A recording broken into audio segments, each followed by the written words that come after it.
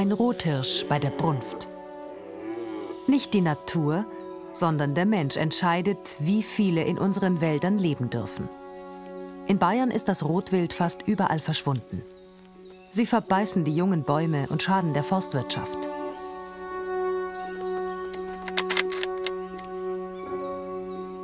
Du sollst nicht töten, so lautet das fünfte Gebot. Gilt es nur für Menschen? Gibt es Ausnahmen?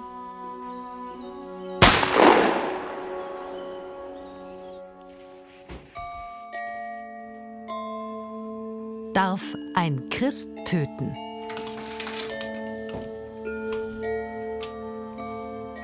Seit über 20 Jahren ist Kilian Limbrunner aus Kamerau Jäger.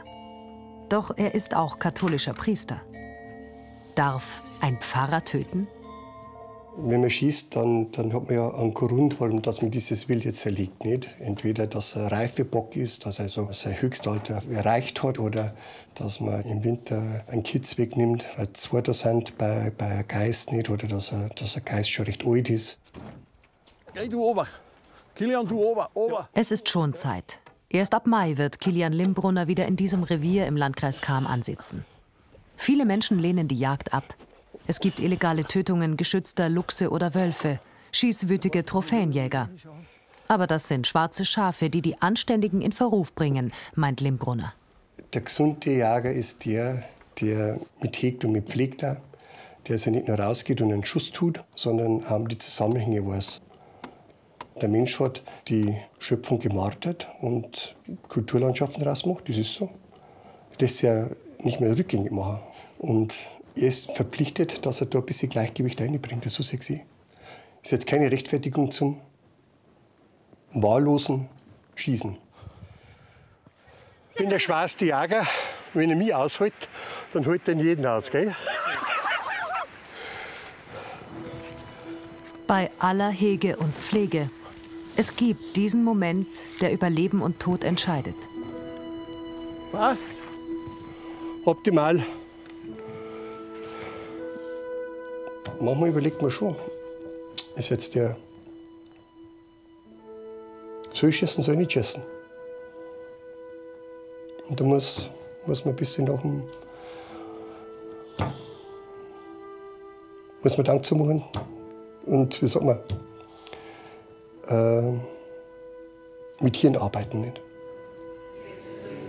In seiner Gemeinde haben die Menschen mit der Leidenschaft ihres Pfarrers für die Jagd keine Probleme.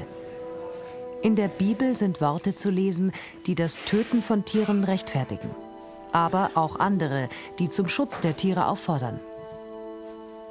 Das Schießen oder das Töten, es dient, es klingt jetzt wieder paradox, man kann es nur christlich verantworten, wenn es dem Leben dient. Wenn man versucht, es in Einklang zu bringen, was Menschen selber zerstört haben, eigentlich schon aus dem Gleichgewicht gebracht haben, denke ich, kann man das verantworten. Sie gerieten in die Wolke hinein und bekamen Angst. Bleibt diese Legende vom heiligen Hubertus, der einem Hirschen begegnet. Als er schießen will, erscheint ein Kreuz über dem Geweih des Hirschen und Hubertus verschont ihn. Ein Tierfreund wird Schutzpatron der Jäger? Für uns Jäger soll das eigentlich bedeuten, wir sollen mal im Tier das Geschöpf sehen, das Mitgeschöpf. Nicht?